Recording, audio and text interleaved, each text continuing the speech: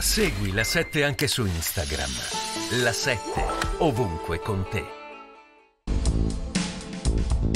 Oggi c'erano almeno quattro buone ragioni per celebrare la festa della Repubblica, guardando con gratitudine a quel 2 giugno del 1946 in cui tutto cominciò la prima ragione è che quel giorno gli italiani, dovendo scegliere tra monarchia e repubblica, scelsero la seconda.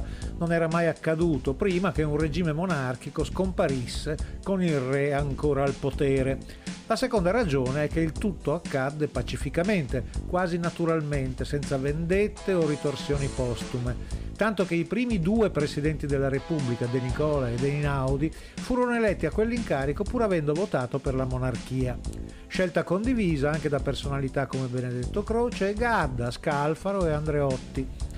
La terza ragione per cui è giusto celebrare il 2 giugno del 1946 è che quel giorno si elesse anche l'Assemblea Costituente, che ci avrebbe poi consegnato la legge fondamentale dello Stato, che ancora oggi regola i nostri diritti e doveri di cittadini.